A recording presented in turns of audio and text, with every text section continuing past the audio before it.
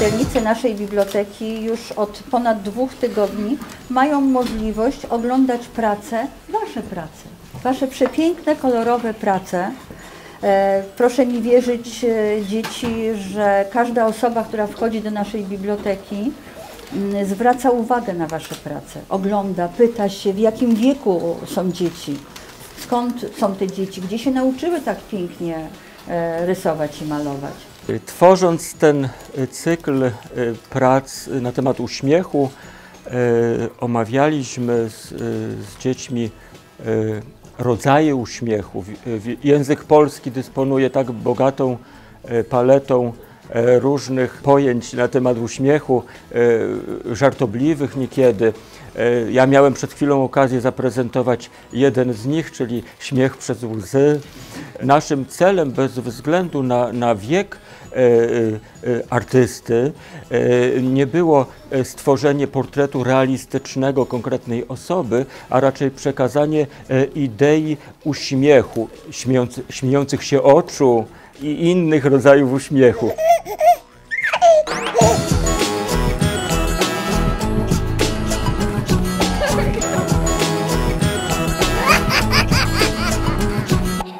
kreska, plama, kompozycja. E, tego, e, tego się uczymy wspólnie na, na zajęciach, bo e, ja jako nauczyciel nie przekazuję dzieciom gotowców tak zwanych, czyli gotowych wzorów, a znając historię sztuki wiem, że za każdym razem obraz czy inne dzieło sztuki odkrywa się na nowo i ta reguła dotyczy również dzieci. To jest jedna z tych dziedzin, które poprzez formę naszą, naszej współczesnej kultury zatracamy z czasem, a która może, y, y, czyli działalność artystyczna, przydałaby nam się w życiu późniejszym, kiedy dzieci stają się już większe, a później ludźmi dorosłymi, po to, żeby być bardziej twórczy po prostu w swoim życiu czyli jest to jakby rodzaj takiej figury tego, jak można tworzyć własne życie w pozytywny oczywiście sposób.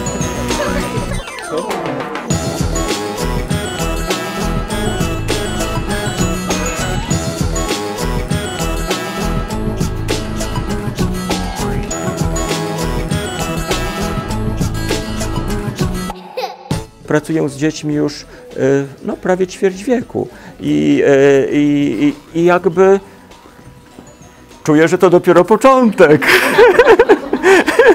Dziękuję Pani Kierownik bardzo serdecznie i chciałem również serdecznie podziękować wszystkim, e, e, dzięki którym e, ta wystawa doszła do skutku.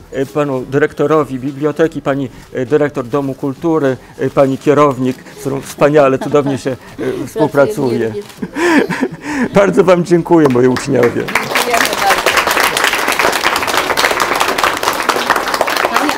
Wymalowałam swoją pracę przez jeden dzień.